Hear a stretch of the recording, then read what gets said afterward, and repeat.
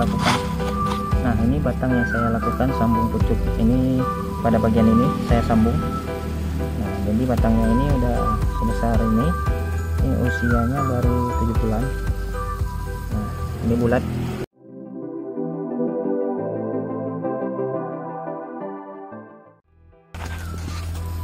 Assalamualaikum warahmatullahi wabarakatuh. Selamat pagi buat teman-teman pecinta anggur impor di mana pun teman-teman berada Jadi teman-teman pada video kali ini Saya ingin melakukan penanganan terhadap cutting yang udah saya uh, pendam Ataupun udah saya taruh di dalam kokopit untuk pertumbuhan perakaran. Jadi ini udah tumbuh akar udah ada akar semua.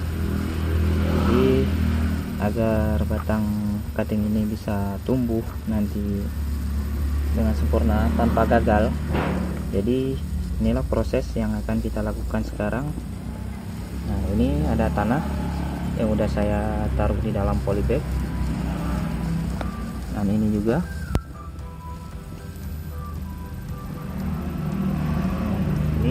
Ukurannya nanti ke dalam polybag seperti ini. Ini ukuran polybag setengah kilo jadi saya tuang setengah dulu tanahnya di dalam polybag kemudian nanti baru kita taruh yang cutting yang udah berakar ke dalamnya. Kita cari yang akarnya banyak. Nah seperti ini. Nah, di dalam ini langsung kita berikan tanah tambahan ke dalam polybag ini sampai penuh atau permukaan polybag aja?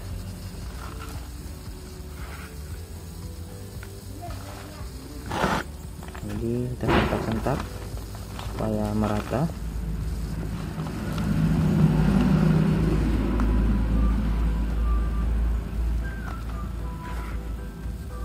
Ini insyaallah nanti akan tumbuh semua secara merata tanpa gagal. Insyaallah. Jadi seperti ini.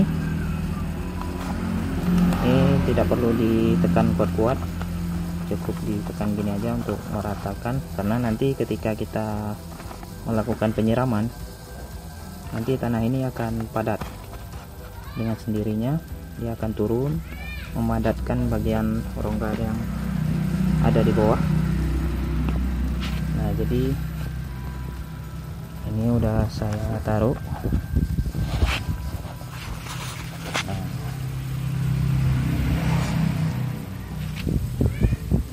jadi teman-teman bahan untuk medianya ini saya gunakan sekam bakar kemudian sekam mentah sekam yang udah lapuk kemudian tanah akar bambu.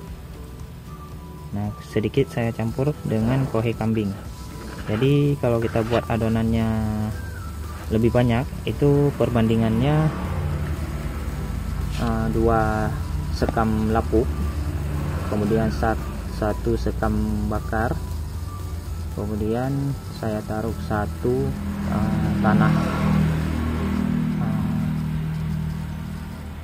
Tanah dari pohon bambu kemudian setengah karung saya gunakan kohe kambing yang udah saya fermentasi. Nah jadi medianya seperti ini. Ini poros bahkan sangat ringan. Ini sangat ringan. Karena akar yang masih baru ini ini tidak boleh terlalu tinggi kadar N nya nanti bisa mengakibatkan kegagalan ataupun mati lebih baik kita kurangkan sedikit uh, kuhi kambingnya kita menggunakan tanah dari pohon bambu saja. Nah jadi teman-teman jika masih merasa kurang yakin dengan media yang teman-teman buat ini kadarnya masih mungkin terlalu tinggi atau belum netral teman-teman bisa campurkan sedikit dolomit untuk menetralkan pH yang ada di media ini nah jadi teman-teman ini akan saya siapkan semua. Nah jadi tujuan saya melakukan seperti ini yaitu saya melakukan sambung pucuk bukan untuk grafting cutting. Nah jadi jika teman-teman ingin melakukan grafting cutting juga udah bisa ini. Ini udah berkalus semua pada bagian ujungnya udah berkalus pastinya di bawahnya ini udah berakar seperti saya tunjukkan tadi dan udah mampu untuk menumbuhkan uh, bat. Jadi jika ingin teman-teman lakukan grafting cutting juga udah bisa. Tapi saya lebih cenderung atau lebih suka untuk melakukan sambung pucuk. Grafting pucuknya ya saya rasa kalau grafting pucuk itu pertumbuhannya itu lebih bagus kemudian menyatu antara batang uh, entres dengan batang cutting bagian bawah itu lebih menyatu. Nah contohnya bisa saya tunjukkan pada batang-batang ini ya. Nah ini batang yang saya lakukan grafting maaf yang saya lakukan. Nah ini batang yang saya lakukan sambung pucuk. Ini pada bagian ini saya sambung. Nah jadi batangnya ini udah sebesar ini. Ini usianya baru 7 bulan. Nah ini bulat ya nah sudah besar. Jadi pertumbuhannya juga sangat bagus bagi saya untuk melakukan sambung pucuk. Dikarenakan batang bawah ini udah siap dia langsung menyepet uh, untuk pertumbuhan daripada entres sehingga batangnya seperti ini. Besar nih. Nah makanya saya semua melakukan sambung pucuk pada bagian ujung. Nah jadi seperti ini juga. Nah ini bibit-bibitnya ini saya lakukan sambung pucuk semua. Nah ini sambung pucuk semua saya lakukan.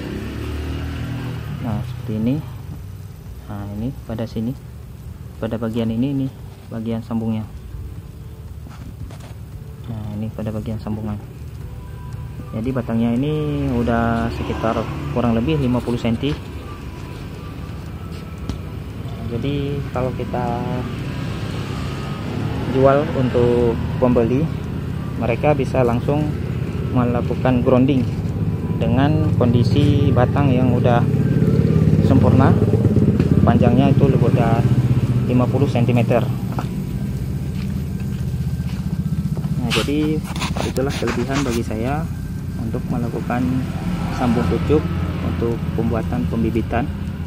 Ketimbang saya melakukan grafting cutting jika grafting cutting nanti batangnya cuttingnya yang besar kita menggunakan seperti ini sebesar ini.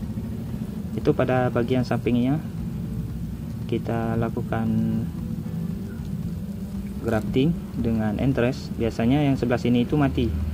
Nah, seperti ini ya. Ini seandainya lebih besar lagi. Nah, jadi kita lakukan sebelah sini. Nanti sebelah sininya mati karena udah pernah saya coba. Jika entresnya itu udah lebih besar daripada jempol dan sambungan pada bagian ini juga tidak bisa menyatu sempurna dia pasti ada lebihnya. Samping ini akan lebih di sininya baru menyatu. Nah seperti itu teman-teman. Jadi bagaimana yang enaknya saja yang teman yang teman-teman lakukan. Mungkin teman-teman lebih biasa menggunakan grafting cutting ya silakan. Dan bagi teman-teman yang ingin melakukan sambung pucuk juga silakan. Intinya di sini kita harus memberikan yang terbaik untuk pembeli agar pembeli nanti bisa mendapatkan hasil batang yang sempurna seperti yang diharapkan Oke teman-teman, terima kasih buat teman-teman yang sudah senantiasa menonton video saya. Semoga video ini bisa semakin berkembang dan membagi pengalaman tentang pengangguran.